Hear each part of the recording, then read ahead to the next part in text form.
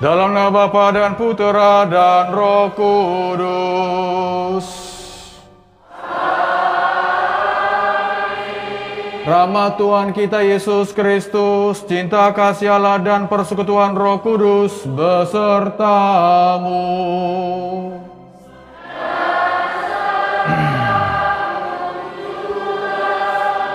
Merdeka! Selamat sore saudara-saudari yang terkasih dalam Tuhan. Pada malam hari ini kita merayakan Vigili Hari Ulang Tahun Kemerdekaan tanah air kita yang tercinta ini. Kita sungguh-sungguh bersyukur bahwa kita bertahan untuk dapat maju menjadi Indonesia yang tangguh dan Indonesia yang bertumbuh. Maka marilah kita sejenak mohon ampun kepada Tuhan agar kita layak merayakan peristiwa sukacita ini. Kejahatan itu ditunjukkan dengan sifatnya menguasai, mendominasi orang lain. Maka kita semua ingin menjadi orang yang hebat dan ingin menguasai orang lain. Dan inilah akar dari penjajahan, akar dari perbudakan hingga sekarang. Di satu sisi, pandemi ini sangat menyakitkan. Mungkin dari keluarga kita, entah keluarga dekat atau jauh, sudah ada yang kehilangan nyawa karena pandemi ini. Tapi di balik pandemi ini ada sesuatu yang menurut hemat saya yang sangat berharga. Apa itu? Orang berhenti sebentar melakukan kejahatan. Itulah saya katakan tadi, kecenderungan manusia ialah melakukan kejahatan dan tidak akan pernah memikirkan orang lagi. Mulai dari tingkat yang paling kecil yang mungkin tidak nampak sampai dengan yang sangat nampak yang merugikan banyak orang. Kita sudah 76. Pertanyaannya, apakah kita sungguh-sungguh sudah merasakan kemerdekaan? Tadi dalam bacaan pertama sangat indah dilukiskan apa itu merdeka. Penulisnya ialah putra Sirak. Apa dikatakan? Seorang penguasa yang bijaksana ialah menjamin ketertiban masyarakat. Seorang raja yang budiman ialah memerintah dengan aman sentosa. Sebagaimana sikap dan tingkah laku para para pejabat pemerintah, demikian jugalah seluruh rakyat, para pembesar kota, dan demikian juga semua penduduk. Jadi dikatakan kemerdekaan berarti hidup kita tertib. Tadi dalam kata-kata yang dibacakan teratur. Teratur, disiplin. Semua berjalan dengan tertib. Kalau kita berjalan di satu jalan aman, entah jalan kaki kah, entah naik kendaraan kah, tidak ada yang ditakutkan. Tapi apakah yang seperti itu sudah kita alami? Jadi dalam hidup ini kita harus membuat skala prioritas. Prioritas satu, saya mau menjadi dosen. Prioritas dua, apa bakatmu? Apa talentamu? baru-baru ini kami ikut Ubimar, seorang guru. Dia guru olahraga dulu. Ah, bukan guru atletik. Yang pernah menjadi juara, saya lupa atlet apa, lari waktu itu. Tapi sekarang menjadi pengusaha. Pernah menjadi kepala sekolah yang terkenal di Jakarta, dan dia tinggalkan itu.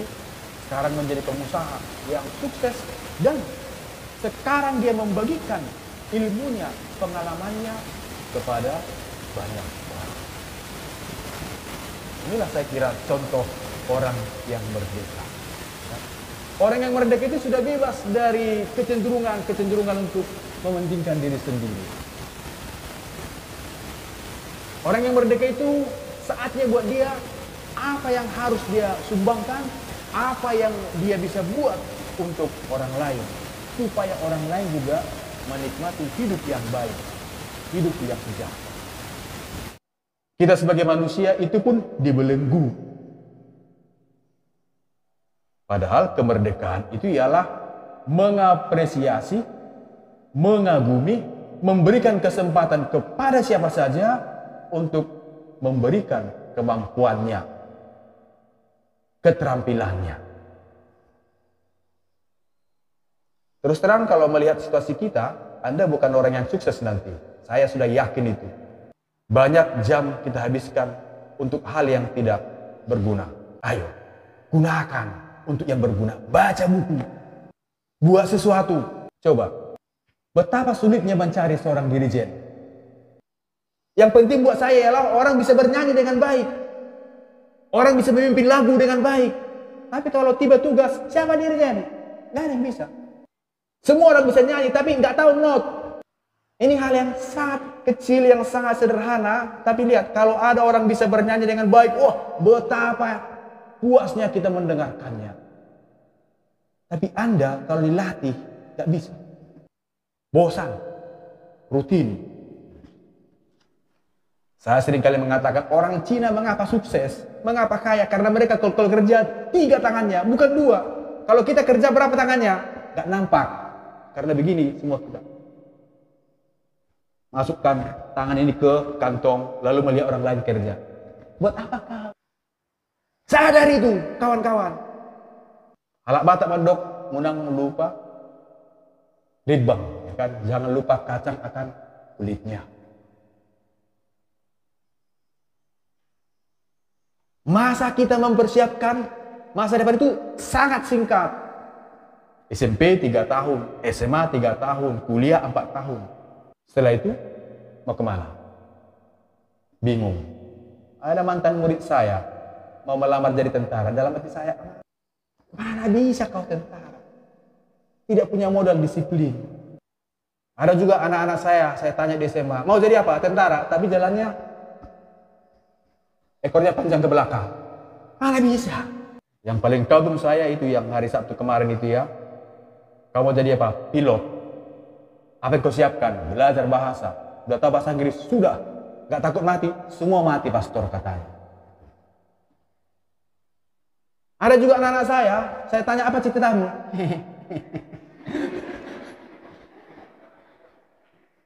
Jangan terikat kepada orang tua. Karena orang tua ilmunya sudah lebih rendah dari kita. Kita ilmu kita sudah tinggi. Jadi tangan jangan Mau apa sedikit? Tanya, mak, jadi apa aku? Loh, kok mama jadi tanya, mau jadi apa aku? Mau ke mana aku sekolah? Ada memang orang tua yang mengatur anak-anaknya. Nanti kau harus ke sini nak ya, oke lah. Tapi jangan juga terlalu ekstrim. Ayo, kamu punya kebebasan memilih mau apa. Maka sekarang siapkan belajar yang bagus. Aduh, kalau saya lihat, nggak ada di antara kita. Maaf, kalau ada orang baik di sini yang tahan belajar 40 menit duduk di bangku, nggak ada yang tahan. Bagaimana ini kita mau merdeka? Lihat negara-negara di kawasan Asia dibandingkan dengan Malaysia, Filipina, Vietnam sudah maju. Ya barangkali karena cuaca di Indonesia ini kan enak. Kalau di tempat lain tidak enak. Jadi merdeka selalu terkait dengan pahlawan. Indonesia dulu bisa merdeka karena ada pahlawan. Pahlawan berarti merelakan hidupnya. Berjuang sampai mati, sampai titik darah penghabisan. Nah itu untuk negara, untuk tanah air kita. Sekarang bukan itu lagi. Kita sekarang bukan menghadapi penjajah. Bukan. Kita sekarang menghadapi diri sendiri. Apakah kita bisa mengekang, mengendalikan diri kita dari tawaran-tawaran dunia yang membuat kita jauh dari kebaikan, dari keteraturan, dari orientasi ke masa depan. Saya ada punya teman di Filipina, dia bilang, anak SMA di sana kalau ditanya, kamu ke mana setelah SMA? Jawabannya, semua keluar negeri. Mungkin karena di sana berbahasa Inggris ya, kita berbahasa Toba pun tak jelas, berbahasa Indonesia pun tak jelas, berbahasa roh lah semua.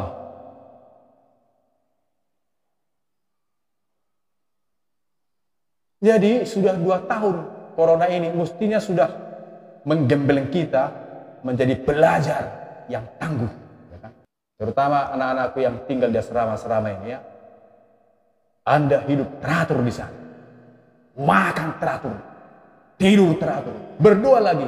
Tapi nilainya masih tenang. Apa itu? Wifi lengkap. Handphone bagus-bagus. Tapi nanti lulus SMA mau ke mana? Tak tahu. Ah, geram kali saya. Wah. Maka buka mata. Tidak cukup pintar, harus punya nyali. Oke, bisa seperti itu, tapi Hokman Paris itu orang disiplin. Bangun jam jam 3 pagi dia bangun, jam 4, jam 4 pagi bangun. Olahraga berenang satu jam. Setelah itu sudah masuk di kantor jam 5 pagi. Kita jam 5 pagi masih ngapain? Bermimpi. Bermimpi. Nah, Saudara sudah terkasih, mengapa saya tekankan ini? Coba kalau kau punya YouTube, bukalah YouTube luar negeri ya, supaya termotivasi kita. Supaya tidak hanya tempat ini yang kita lihat, supaya bukan hanya kota kita yang kita, yang kita lihat, tapi lihat dunia yang lain. Negara-negara dulu yang masih berkembang sekarang sudah maju, sudah sejahtera. Kita aduh. Mengandalkan bantuan sosial apa dia BST bantuan sosial tunai. Tiga bulan tiga ratus ribu. Eh, sampai antri berjam-jam di situ habis terima itu makan mie gomak. Selesai. Jadi yang membebaskan kita bukan orang lain tapi diri kita sendiri. Mari bertumbuh dan tangguh. Amin. Bapa dan Putra dan Roh Kudus.